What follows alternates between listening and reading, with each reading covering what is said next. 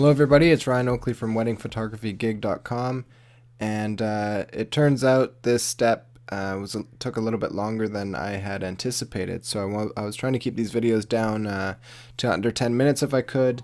And so I've now split this uh, step 4 up into uh, two parts step 4a and step 4b so welcome to step 4b uh, after we got through the last video we got all the way to the end of setting up our fonts and our colors for our text. And uh, now we're just going to finish off this page, so it should just take a few minutes here.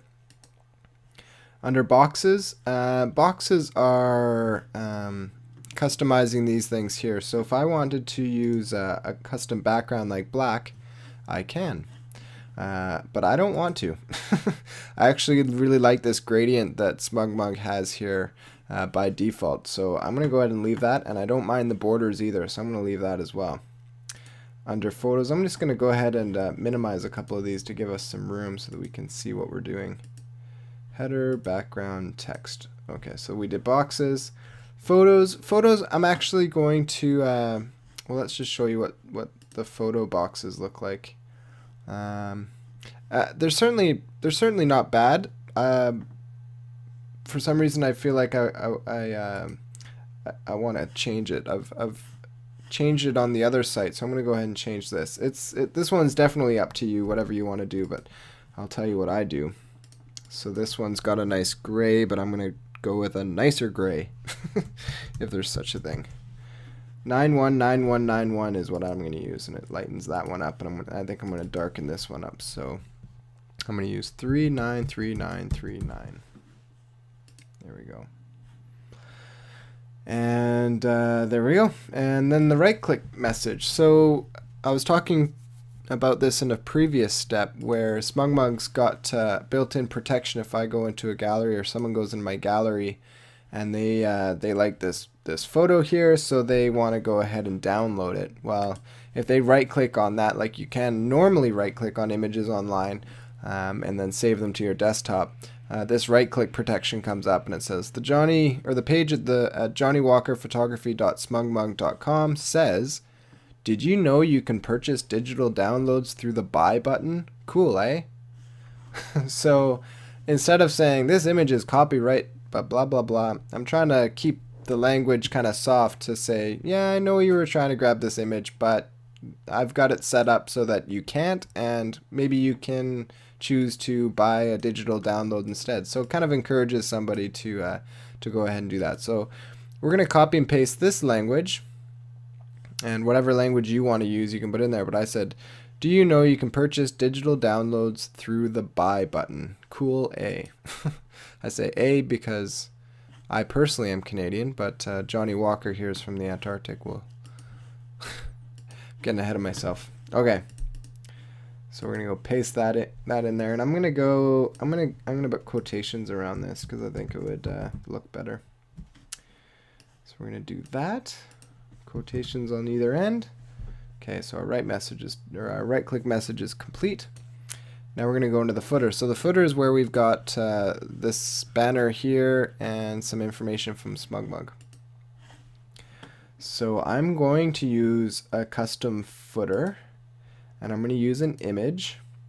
So you can see the uh, the favicon image that we used earlier is now showing up fine. So that's just some SmugMug just has that. So even when we um, upload, and this might by the time you watch this video, uh, SmugMug might have fixed this little bug. But when I upload my banner, it's going to show up as that thin that thin uh, uh, that thin thin thing as well. So I'm going to go find my banner, which is right here, and I'm going to upload that and I'm probably gonna well I might I might end up doing a separate video um, as part of this tutorial kind of separate but um, not as part of the steps but as a separate little um, piece of information or tutorial that will show you how I create a banner for my site but um, I figure a lot of photographers already are fairly decent at uh, um, web graphics so you might already know how to do that stuff but uh, if you're interested, send me uh, send me a message or put a comment on my uh, on the tutorial here.